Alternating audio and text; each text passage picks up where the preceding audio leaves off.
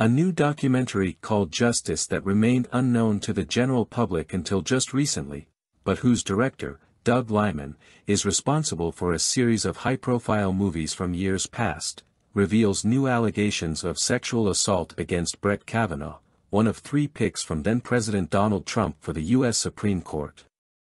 Despite previous claims of sexual assault from at least two women, Kavanaugh was voted onto the Supreme Court, which, under current standards at least, remains a lifetime role, by Senate Republicans. Deborah Ramirez, who went to Yale University with Kavanaugh, is among those featured in the new documentary, in which she recounts details of Kavanaugh forcing himself on her while attending the college.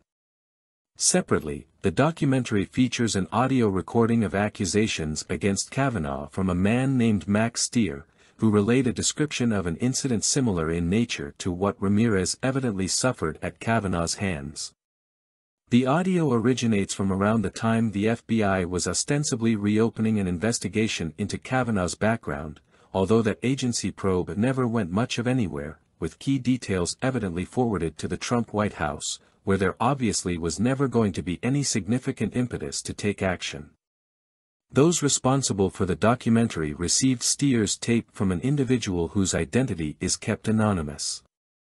Stier said that, while attending Yale at the same time as Kavanaugh, he wound up in a room where he saw a severely inebriated Kavanaugh with his pants down, at which point a group of rowdy soccer players forced a drunk female freshman to hold Kavanaugh's penis, as a report from the Daily Beast recaps what the movie shares.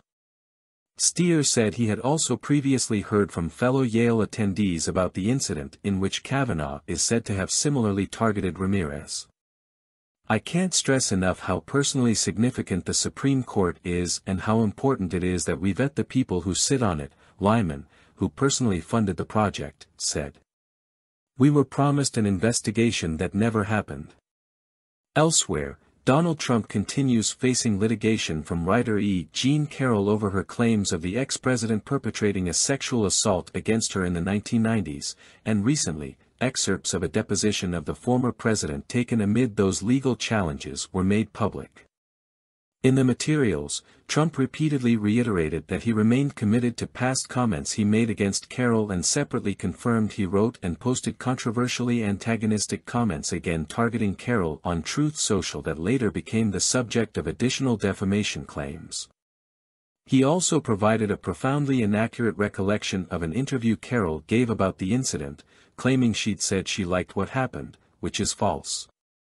She was discussing broader perceptions of sexual violence, although Trump stuck by his claimed recollection through persistent questioning.